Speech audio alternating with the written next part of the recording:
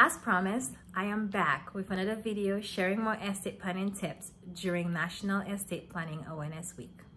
This video is specifically for people who already have an estate plan. In my practice, when my clients are done signing their estate plan, one of the questions that they ask on their way out the door is when should they be back?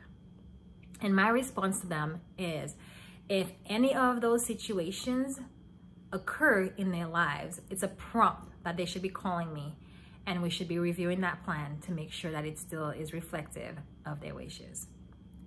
One such situation is a major life change. They've gotten divorced. They are adding new members to their family, whether through a remarriage or more children, or with my elder clients, grandchildren. How about where their children have aged out of their estate plan, meaning that they were minors when the plan was created, but the kids are now adults.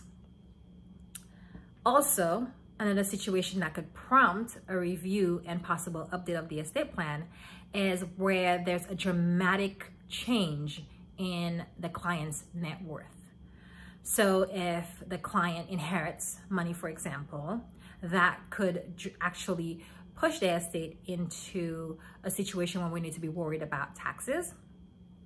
Or if their estate has decreased and we initially added um, tax planning in there, that we might have to be we might have to reverse that tax planning to reflect where the client is currently. Finally, where there's a change in the estate tax law.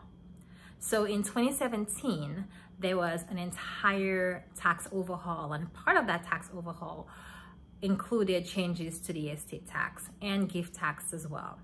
So um, what I've seen is clients come in with pre-2017 estate plans and they have provisions in there that are too robust for the current tax law, but also for the client situations. And so in those situations, uh, in, the, in, in those circumstances, I am prompting clients to go ahead and update the estate plans.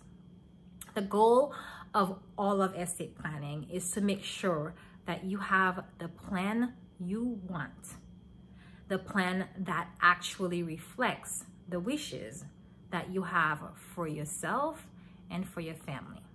So during this week, I invite you to go grab that estate plan, dust it off, and make sure that the plan you have is a plan that reflects the wishes that you want.